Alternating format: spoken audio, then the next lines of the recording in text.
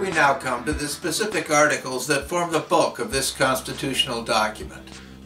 These are articles through which a government is authorized to exist. The written provisions address how the various elements of government will receive powers from we the people and are both granted specified authorities and denied actions beyond stated limitations. These articles set a government in order, assigning duties upon its parts to fulfill the stated purposes of the larger agreement. This new government is also to function within the self-governing purposes documented in the preamble. This addresses the agreements by we the people that brings the U.S. government into existence. Of specific note, this article is not some separate authorization providing absolute powers and suggesting limitations upon a ruling group of government leaders. That is not the written intent nor the expressed will of the people in whose name this document is signed.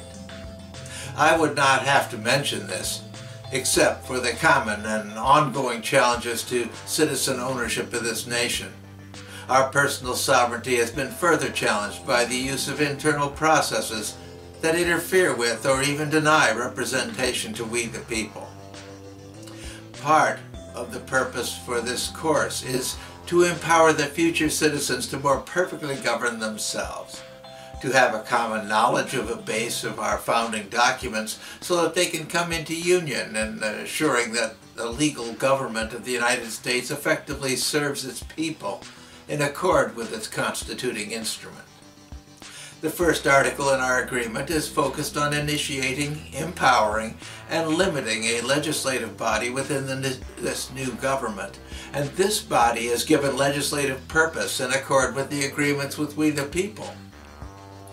The purpose for their being legislature is to form a more perfect union, establish justice, ensure domestic tranquility, provide for the common defense, promote the general welfare, and secure the blessings of liberty to ourselves and our posterity.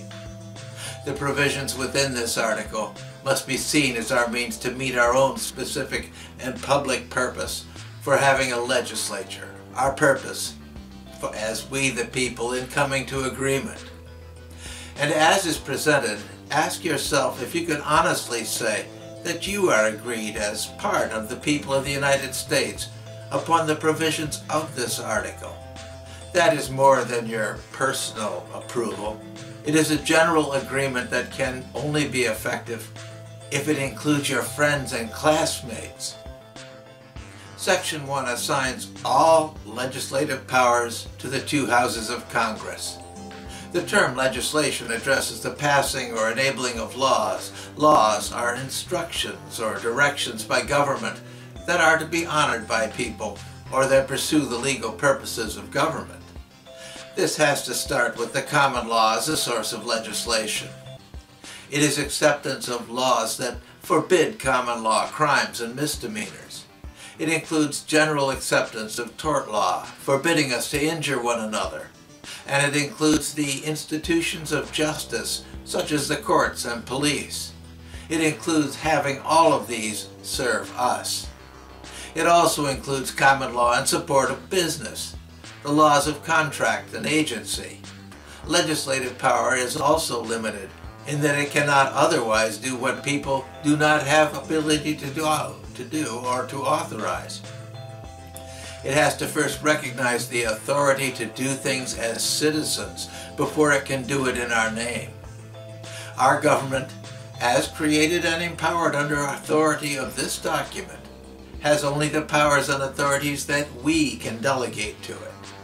Our immediate and ongoing violation of these principles is seen in the passage of laws that hold people accountable, even though the laws are written to be unclear in effect or so complicated and involved that we the people are not expected to understand their provisions.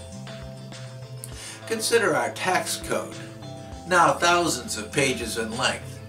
Do our congressmen read and understand all the details of such a massive code?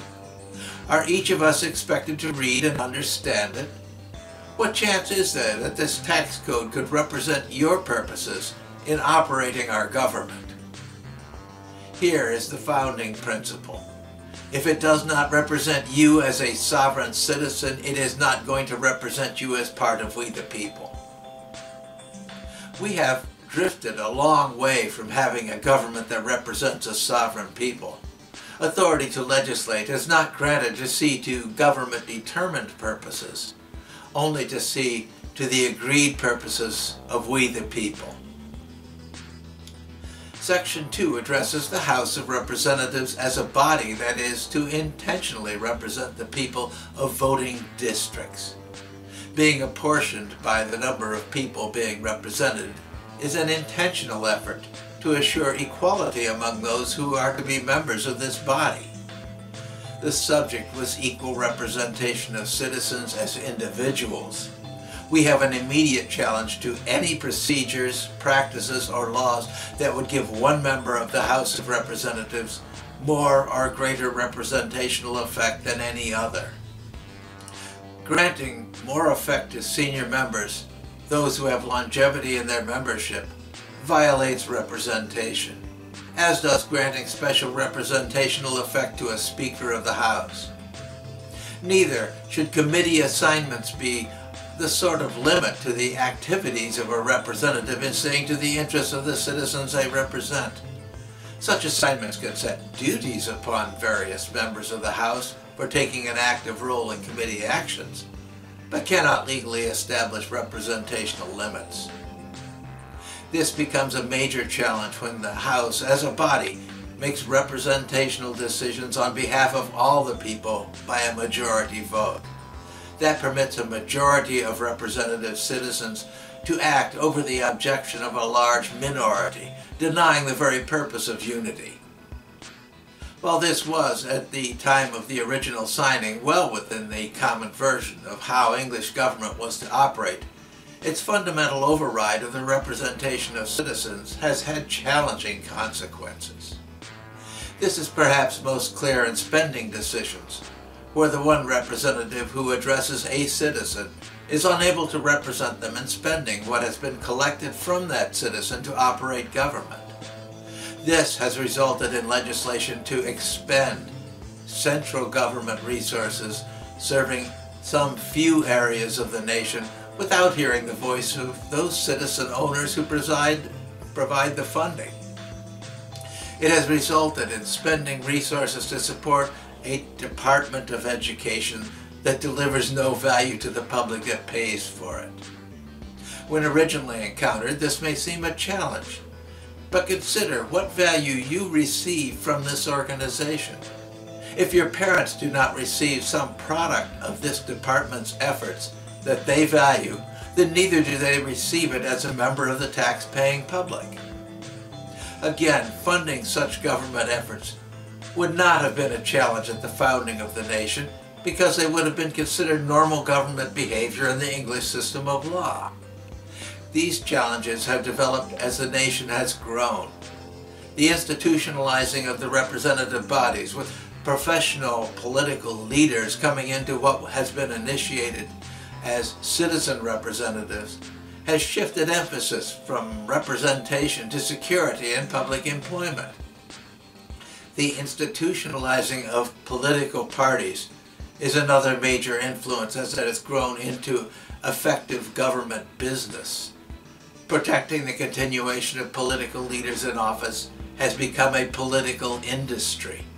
And that is a challenge to having non-citizen political parties being given a voice in the House of Representatives that is only supposed to represent citizens as will be examined under the Common Law Foundation for Agency, the political party is not an agent of the people who adhere to its general party platforms. It is the elected members in the House of Representatives who are supposed to represent citizens. For perspective, the methodology in this section of Article 1 addresses what is a good and effective means for collecting and presenting the votes of citizens as to elections. It describes a process for citizen selection of those who will represent them. It provides a reasonable means, and probably as good a means as was unavailable, for assuring that members of the House of Representatives actually would strive to represent their constituents. We have technology and methodology to do a much more effective election effort, but that would require an amendment to this constitutional agreement. A well-designed change could give citizens a greater voice, greater ability to steer and direct their representatives. But again, such a change would not serve the interests of non-citizens who have come into influence. Nor would it support longevity in public employment within the current political system. Accordingly, the now awkward election system is still in place. It will probably continue until the people change it into something that better serves a population of self-governing citizens. The specific address of impeachment in this section is significant in the sense of going to the purpose of representation. Even as the writing in this section includes legislation, it also includes prosecutorial duties for managing the larger function of government. As the most representative body within the government, this House of Representatives is given the duty to watch the internal operation of government and to take offensive official action in prosecuting any government officers who would challenge the purpose stated in our constituting agreement. By its ordering in this section, impeachment is made a fundamental purpose, even as legislation is a fundamental purpose. It is not some special power as in managing our monetary system, but is fundamental as a duty to be performed on behalf of we the people, in fulfillment of the purposes set in the preamble. Section 3 addresses the existence and membership of a Senate, a House of State Representatives. Again, the environment in which this constitutional agreement was signed contained a certain amount of confusion as to the status of the regional state governments. The people of the revolution did not fully accept them as sovereign bodies, and yet they were functioning as central governments for the purposes of service to their recognized territories. Giving them a voice in the Senate through representatives actually made these state governments, they made the bodies stronger, giving them greater official recognition. The potency of state governments must be understood in the context of this being a provision of this agreement where government powers are delegated from its sovereign citizens. It recognizes that these same citizens are also the owners of their state governments. This second House of Congress is to represent the people in the territories recognized as states. It does not just give voice to the states as subordinate feudal barons under a sovereign United States. It does give voice to the people in recognition of internal territories, providing for their representation as a collection of people with common territorial interests. A special concern is the election of representatives by the legislatures of the states, rather than directly by the people. This was a simple, effective, and appropriate way to address the process of election and relied upon the representative nature of the state legislature to assure the representation of the people of the state. It was too simple and did not provide a good means for political corporate bodies, such as political parties, to have influence on these representatives. They would answer directly to the legislatures that selected them. And so this method of election has been challenged and changed into something closer to that used to elect members of the House of Representatives. This will be further discussed in Articles of Amendment. Then we have a second specified congressional purpose. This time it is for trials of impeachment. The Senate is addressed as the people's agent in handling internal misconduct in office. The Senate is, by trial, given the power to remove public officers from their offices, where they abuse the privileges and powers.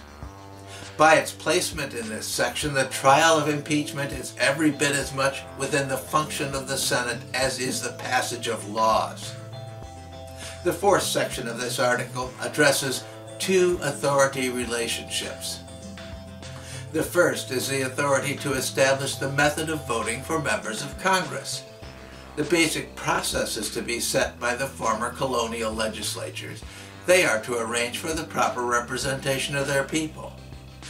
To this, the new Congress is given the power of voting regulation. They can also set voting requirements and can regulate the process for the benefit of the larger people of the United States. Their efforts are to address a national consistency in voting process. Where the Congress is granted regulatory authority to do more than this, there is no indication of any purpose in assuming authority over the people in the state territories. In the final provision in this section, Congress is required to meet. It cannot excuse itself from meeting, but is granted authority to set a schedule for its meetings through the legislative process. In summation, we have an extremely well-considered establishment of Congress that is written into our constituting agreement. For your consideration, this is now the basis for our agreement as citizens of the United States. While it can be changed, it is not subject to change because something is better. It is subject to change when we, the people, can come together to do so. For now, this is our written agreement. It is good enough so that you can accept it as a basis for continuing the government that it has set in place. I'm not yet asking about whether you can accept the modern government that is in place but the government that our founders envisioned when they wrote and signed this agreement.